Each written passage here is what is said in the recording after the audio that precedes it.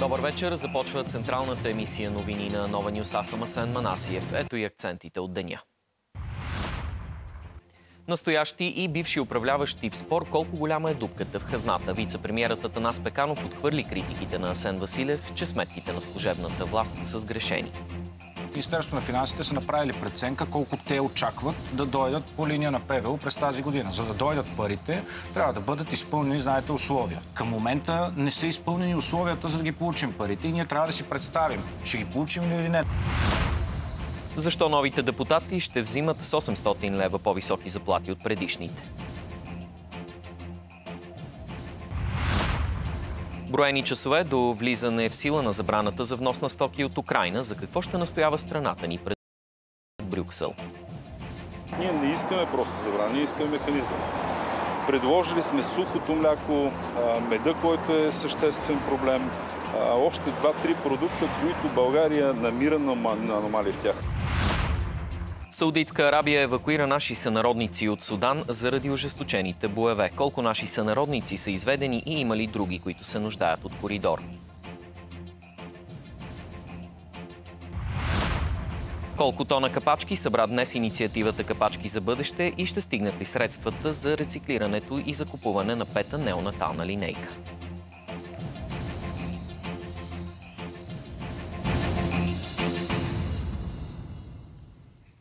Българи спешно евакуирани от Судан в последните дни тече бързо извеждане на гражданите от различни страни заради продължаващите ожесточени боеве на територията на африканската държава. Нашите сънародници са евакуирани при мисия на Саудитска Арабия и са достигнали безопасно до Джеда. Има ли вече официална информация от външното ни министерство? Отговорите от Ивомира Пехливанова. България няма посолство в Судан. Най-близката ни дипломатическа мисия е тази в Египет. По информация на наши сънародници, посланникът ни в Кайро съдейства за евакуацията. Има дори изготвени и списъци. Проблемът обаче идва от там, че за момента не може да се открие максимално безопасен маршрут за изтеглянето. А иначе в Судан живеят около 40 българи, най-вече медици и служители в международни хуманитарни организации. По-рано през деня от Външното министерство на Саудитска Арабия съобщиха, че успешно са евакуирани евакуирали около 90 граждани на Саудитска Арабия и около 12 чуждестранни граждани, сред които и няколко българи. Журналистът Оля Ал Ахмет е от българо-судански происход. Поддържа връзка с близките си и с част от българите, живеещи в Хартум. Казва, че евакуацията към момента е почти невъзможна. Че самите списъци с наши сънародници са готови. Но тъй като летището е напълно поразено, няколко писти а, от кадрите, които излязаха по а, медиите, се вижда нали, от сателита, че а, са разрушени пистите. Даже един взривен самолет имаше на а, пистата. Летището е неизползваемо. Всички пътища в момента в Судан са блокирани от военни. Проблемът е, че ти не знаеш кои военни... Според разкази на сънародниците ни там в града цари пълен хаос. Всички коли спират и ти не знаеш патрула дали е на единия генерал или е на другия генерал. Ако не спреш, стрелят пушечно месо. Стрелят, стрелят, убиват а, невинни хора, цивилни граждани. Хартум е и пред хуманитарна катастрофа. Без питейна вода, без ток, съответно къщите, които са по-бедни и нямат агрегати за ток, те седат без ток. Съответно няма комуникация, защото спира автоматично телефонът и няма къде да си заредиш телефона и интернета. Значи, откъснат от света без комуникация, без ток, без вода питейна и без храна. Георги Милков многократно е бил в Судан като журналист, за да отразява събитията в страната. По думите му, сегашният конфликт е един от най-ожесточените и с най-много цивилни жертви. Конфликтът там е много сериозен. Изключително зверски сблъсък между, между военните в, в, в страната. Проблемът е там, че и двете страни са достатъчно въоръжени, и двете страни са а, подкрепени от, от чужбина, като в този случай външните сили са заложили едновременно и на двамата. Конфликтът може да се реши само с натиск отвън, смята журналистът. Надявам се наистина някакъв разум, поне отвън, да наделее, така че да, да бъдат накарани тези двама души да, да сложат оръжието и да се договорят за някакво примирие. очевидно в тази ситуация един от двамата трябва да победи. Ожесточените боеве в Судан са от седмица. За надмощие се борят двама от най-влиятелните генерали, като всеки от тях се опитва да вземе властта еднолично. Доскоро те бяха съюзници и сега всеки се опитва да отстрани другия. И на Томина неделя водеща на политическата сцена е темата за дефицита в хазната. Предишната и настоящата власт влязоха в задочен спор колко голяма е дупката в бюджета. Михайла Карабелова за този сблъсък. Добър вечер. План сметката на държавата предизвика задочен диалог между служебната власт и бившите управляващи. Пред нова вице-премьерът Атанас Пеканов беше категоричен. Грешки в разчетите на финансовото министерство няма, а приходите от плана за възстановяване не са заложени в бюджета, защото на този етап не е ясно кога ще влезнат в държавната хазна. Отговорността за намаляването на дефиците изцяло в ръцете на народните представители и въпреки дупката в бюджета за милиарди, теглянето на заем от Международния валутен фонд за сега е крайен сценарий. Ето и повече. Атанас Пеканов защити сметката, представена в петък от служебното правителство. Това, което беше представено, не е нещо екзотично. Ние не сме се оплашили. Ние искаме нещо, което да функционира и виждаме, че каквото и да предложим, партиите веднага излизат с пълно несъгласие. Затова им даваме, както и демократично правилно, възможността те да вземат решението. Държавните пари вкараха в задочен диалог бившите и настоящите в Министерския съвет. Още вчера екс-финансовия министър Асен Василев пресметна, че служебната власт не е заложила в разчетите си приходи от плана за възстановяване. И още. Не е заложено да се съберат 100% дивиденд от държавните предприятия. Това е грешка от 1 милиард 721 милиона лева. Само от тези две грешки бюджетният дефицит намалява с над 4 милиарда и половина лева и пада на 3,6%. Съм съгласен, че това е грешка. Това е реалността към момента. Министерството на финансите са направили преценка колко те очакват да дойдат по линия на ПВО през тази година. За да дойдат парите, трябва да бъдат изпълнени, знаете, условия. Втория и третия транш, за да ги получим. Ами, към момента не са изпълнени условията, за да ги получим парите и ние трябва да си представим, ще ги получим или не. На мен ми е най-хубаво е да си представя, че ще ги получим. Аз си го представям всяка седмица. Това ми е работата, да дойдат тези пари. Обаче това зависи от приемането на закони. Според Пеканов, дори да дойдат средствата по втория транш от плана за възстановяване, те няма да покрият дупката в бюджета. Въпреки това е оптимист, че няма да се стигне до тегляне на заем от Международният валутен фонд. Това е много, много крайен сценарий, който в момента е само едно допускане, хипотетична теза. За новините на Нова, Михайла Карабелова. А сега за парите на депутатите. Народните избранници от 49-то Народно събрание ще взимат по-високи заплати от предшествениците си в 48-то. Причината – депутатските възнаграждения се променят 4 пъти в годината и зависят от заплатата в обществения сектор. Заради по-високите доходи там, основното възнаграждение на новите 240 ще е почти 6400 лева без клас прослужено време или допълнителни възнаграждения за участие в комисии. Това е с 801 лева повече от предишния парламент. По-високата заплата за депутатите обаче не гарантира различен край на това народно събрание спрямо предходното. В очакване на първия проучвателен мандат, основният въпрос остава ще успеят ли новите 240 депутати да излъчат правителство. Какви са позициите на двете големи коалиции, без които не може да бъде съставен кабинет, Мия Димитрова обобщава. Крачка преди връчването на първия мандат от ГЕРБ СДС остават категорични. Редовно правителство трябва да има. Готови са и да предложат състав на кабинет. Не мога да ви кажа дали ще бъде експертен или с политически лица, но със сигурност ще предложим кабинет. Докато течаха разговорите между първите и вторите, Делян Добрев не спря да критикува идеята за управление на ГЕРБ с Продължаваме промяната Демократична България. Общото мнение в централата на ГЕРБ СДС обаче остава непроменено изборите са най-лошия вариант. Надявам се да не стигнем до там. Все пак, освен първия и втория мандат, има и трети мандат, който е някакъв авариен тип мандат. Дава също някакви шансове, така че надявам се да не стигнем до избори отново, защото това вече ще бъде прекалено. От своя страна продължаваме промяната Демократична България продължават да не отстъпват и отново заговориха за политиката на ГЕРБ през годините. Тази политика ние няма да допуснем и за това ясно сме заявили, че ще предложим кабинет с втори мандат, който да води обратната на тази политика. Да печелят българските граждани, а шепата фирми да спазват законите и да си поемат пазарните рискове. А въобще за кабинет на малцинството ли продължавате да говорите ли има и друг вариант? За кабинет излучен от Продължаваме промяната и Демократична България. Подкрепа за кабинета си ще търсят от всички, включително от първите. Включително с ГЕРБ, с ДПС, с БСП, с Възраждане, с Има такъв народ, с всички политически сили в парламента, за да можем да получим подкрепа за тези политики. Аз не виждам логиката те да не ни подкрепят за първи мандат, а ние да ги подкрепим за втори. Това просто е много несериозно. Все още не е ясно кога държавният глава ще връчи първия мандат за съставяне на кабинета. За новините на Нова Мия Димитрова. Коалицията Продължаваме промяната Демократична България иска да сформира правителство на мълцинството с втория мандат, но без министри на ГЕРБ в него. Това заяви в предаването на Фокус съпредседателят на Продължаваме промяната Кирил Петков.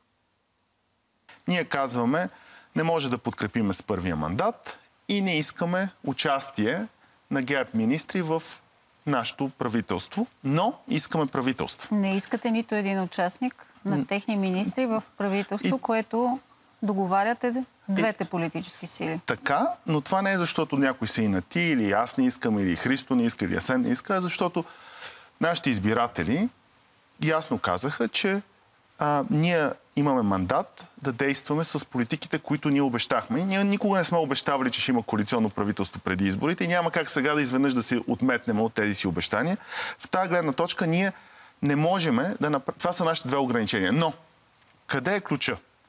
Ако те все пак решат да видят какво правителство ние ще направим, тук може да се влезе в разговор за политики. Защото те правителства не се правят за да е някой с някой. Тези правителства се правят, за да се свърши някаква работа. От полунощ влиза в сила забраната за внос на редица украински стоки, сред които са и зърнените култури. Целта е защита на народните производители, чиято продукция залежава в складовете. Решението на служебния кабинет е за забрана от 24 април до края на юни. Възможно е обаче тази забрана да остане в сила само един ден. Причината е, че във вторник на заседание се събира съветът на Европейския съюз по земеделие. Брюксел вече предложи на страните, които наложиха временно ембарго, да се откажат срещу общо европейско решение за спиране на вноса и нов пакет от мерки за подпомагане. България обаче ще поиска вкарването на допълнителни продукти, които касаят местния пазар. Четири са културите, които Европейската комисия възнамерява да забрани до 5 юни. Ние всичко, на всичкото отгоре искаме, ако има условията да пуснем такава продукция, едностранно от държавата да може да отворим бариерата. Тоест ние не искаме просто забрана, ние искаме механизъм. Предложили сме сухото мляко, меда, който е съществен проблем, още два-три продукта, които България намира на аномалии в тях. Най-вече сухото мляко и млечния концентрат да влезем във втория пакет. Локомотивните машинисти Димитър Михнев и Радослав Петков, които бяха осъдени заради взривените цистерни край гара Хитрино, от петък вече са в затвора на Очинова. Те ще изтърпят наказанията си в Белене. Двамата бяха признати за виновни за тежката катастрофа, която отне живота на 7 души и рани 14. Материалните щети бяха огромни. Михнев е осъден на 15 години затвор, а Петков на 10. Те имат и забрана да работят в ЖП сектора.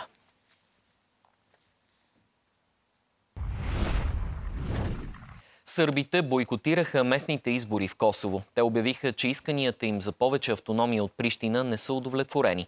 Бойкотът е ясен знак, че принципното споразумение за нормализация на отношенията между Сърбия и Косово не работи. То беше договорено наскоро с посредничеството на Европейския съюз, но двете страни не подписаха официалния документ и очевидно сближаване няма. Властите в Прищина се опасяваха, че обичайните избирателни секции – могат да бъдат атакувани. Затова използваха палатки и фургони за временни пунктове, докато войници от Италия и Латвия патрулираха по улиците. Европейският съюз и Съединените щати изразиха съжаление за решението да се бойкотира вота. Демократия на силу не. Демокрация на сила не искаме. Това е процес, който се гради с години, а не за 5 или 10 дни. Първо трябва да бъде постигнат компромис и да има реално споразумение за нормални отношения между двете страни.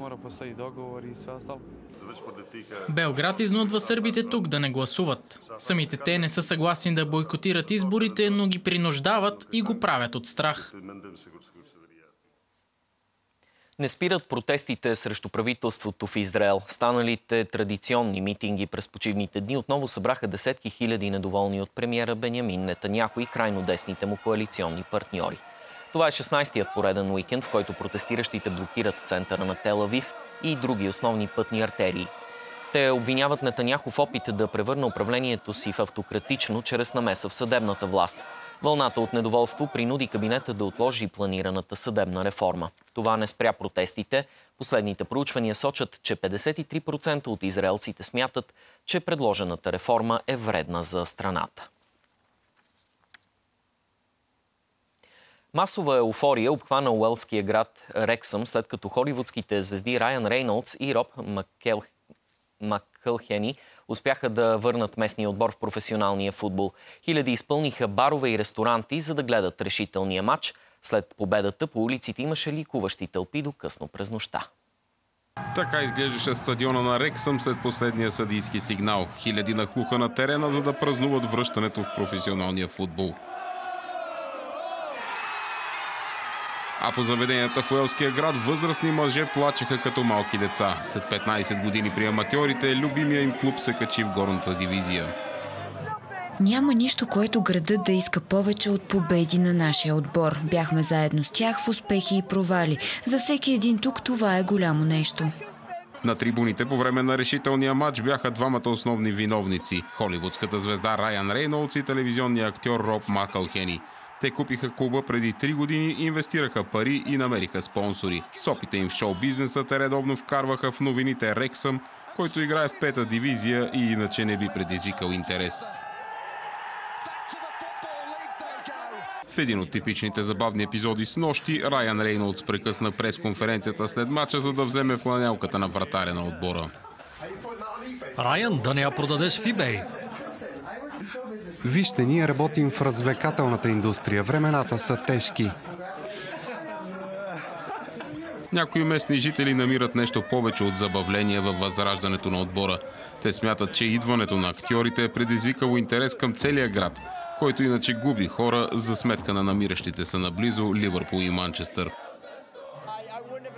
Когато бях дете, дори не можех да си представя, че хората ще дойдат да се заселят в Рексъм. Всички мислеха само как да напуснат града. Сега идват и това е нещо съвсем ново. Обичам Райан, обичам и Роб. Обичам ги. Дали Рексъм ще запази мястото си в горната дивизия, дали инвестицията на известните актьори е дългосрочен проект, дали интереса към Уелския град е само кратък епизод, за сега хората не се тормозят с тези въпроси, защото са заети да празнуват. Отново у нас за пети път поход за мир в над 30 града у нас. Основните искания неутралитет на България в войната между Русия и Украина, както и провеждане на референдум по този въпрос. Участниците настояват страната ни да не изпраща оръжие на Киев, както и на наша територия да няма чужди военни формирования при конфликт. Шествието в София тръгна от НДК и мина по булевард Витуша, за да стигне до президентството и Народното събрание. Днес се проведе велопоходът София кара колело и диша чист въздух.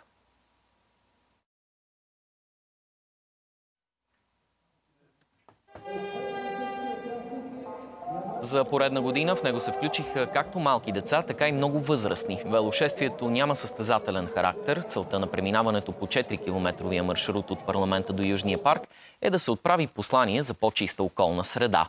Пет минути след този за велосипедистите беше даден старт и за хората, които решиха да преминат трасето с бягане.